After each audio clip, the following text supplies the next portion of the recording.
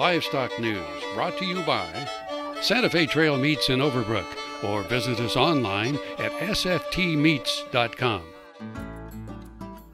Um, Chad, we're coming into fall. Right. Soon be winter. Rations Yep. for livestock.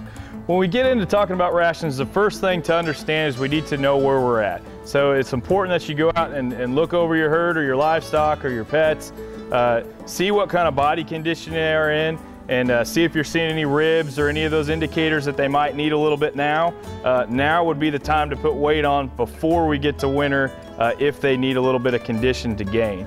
So I think it's important that we know where we're at first, uh, and then we talk about going into uh, what type of rations that we might be feeding and that sort of thing. So we're looking at cattle and, and horses today. Mm-hmm. Right. Uh, what are some of the things they should be looking at on the package if someone's coming in and buying packaged feed? Right, there's two major things. a lot of times when you're looking at feed, you know, it's easy just to look at the percent protein and uh, just go off that. Okay, am I getting a 14% or 16% or 12% or 10%?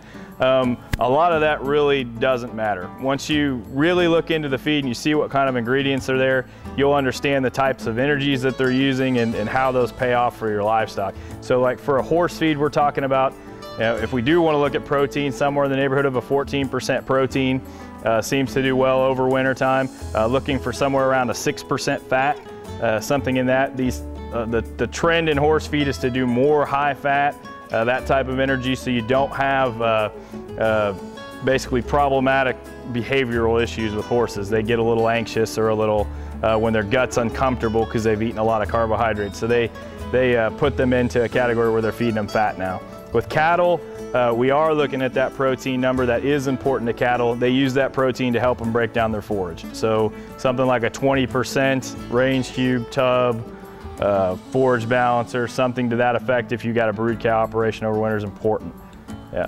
What about mineral blocks? Is that, is that the time to stick out a mineral block? Um, mineral is important. Uh, that's going to help with their immunity. Uh, mainly in wintertime, when we talk about supplementation, these protein supplements have mineral in them. Uh, so the mineral blocks and those sorts of things are more for summer when we're not supplementing with other issues. So the, the summer out there, the, the, the mineral blocks are fine. You should still always have a loose mineral available, uh, free choice for them at all time or a mineral block or something like that. Uh, but we do have, we're, we're, fortunate that we have some of those supplements coming in the ration uh, in the wintertime to help them build up. So. You talked about forage. Mm-hmm. When should we start laying that forage out? Um, for the most part, right after when things start freezing, uh, it really depends on your hay supply. If you've got pretty good hay supply, uh, the grass starts to wind down a little bit. We think about moving those brood cows into winter, where we winter pasture them. Uh, let them eat that down a little bit, and then just start throwing out a bale of hay every once in a while and see how they do, see how they go through it. Start supplementing. Uh, we also want to make sure that we're we're using minerals at that point when we start feeding hay. A lot of times the hay is lower in vitamins and minerals than your, your fresh grass that you have out there. Uh, so we just talk about supplementing a little bit as we go and, and uh, introduce that hay as soon as uh, you know you, you kind of get the sense that your pasture's had enough and you're ready to start supplementing. Yeah.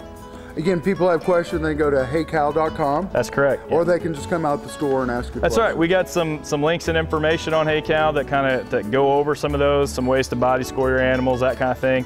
Um, and they can always come in or call us, and we're happy to walk them through the process, their rations and that sort of thing, and uh, get people to have their animals in the right condition to, to make winter.